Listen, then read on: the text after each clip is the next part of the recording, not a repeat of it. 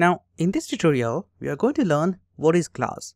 Class is a main topic to understand what is object-oriented PHP. So, what is class? Class is a collection of properties and methods which can be used as many times as you want.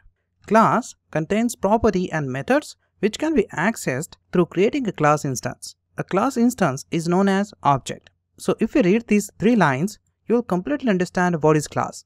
A class is a simple collection of properties and methods and the class instance is known as object. So if you want to call a method or property of the class, you need to create an object of that class. PHP class can be used in any PHP application. So it's very useful to save your lot of time. You can consider class properties as variables and methods as functions.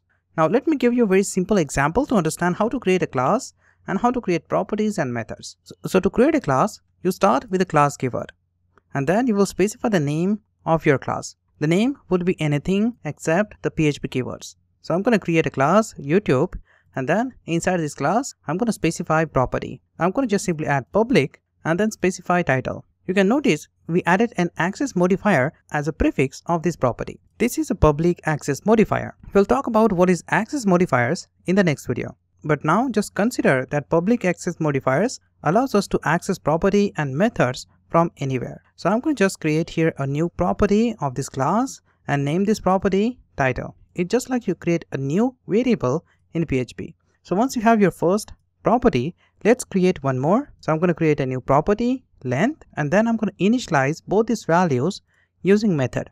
So I'm going to simply create here a new function. I'm going to just name that function set title.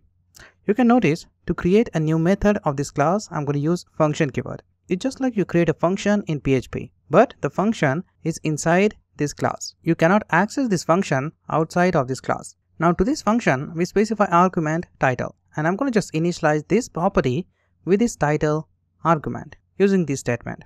To access this property, I am using this keyword and then I'm going to specify dash greater than operator and then I'm going to specify my property. Keep in mind you don't need to specify dollar sign to this property when you're calling it. Now let me explain what is this. Now this is an instance of the current object. It means this is refers to this current class. So what I'm going to do is I'm going to just tell this function to get this object. It means to get this class and access the property title and I'm going to just initialize this property using this set title function. Just out of that, I'm going to just get this property to display it. I'm going to create a new method get title. I'm going to just return this title property using get title function. Now let me show you how you can create an object of this class.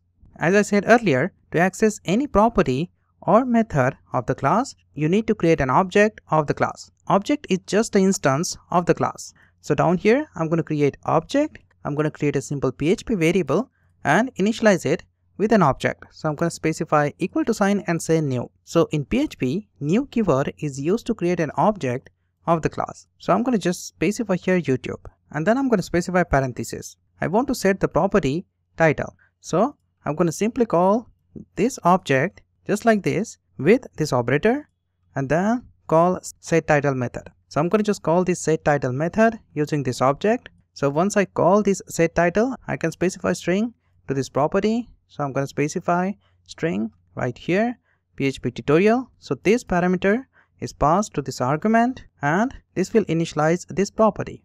I want to display the string. So I'm going to simply call here echo, call the object and then call get title method. This function is going to return title property. So when you execute this echo statement, it's going to return PHP tutorial. Now you're not limited to create only one object per class. Instead, you can create multiple objects if you want. Both these objects can store different data. You can notice this first object set this property as PHP tutorial.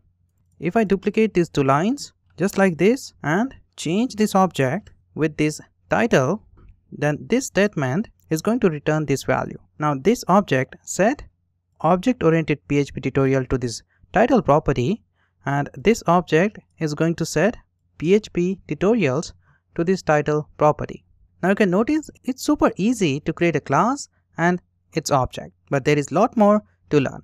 So I hope you understand how to create a class. We will explore the class in the next tutorial as well. If you like short videos like this, make sure to subscribe and like this video. I will see you in the next one.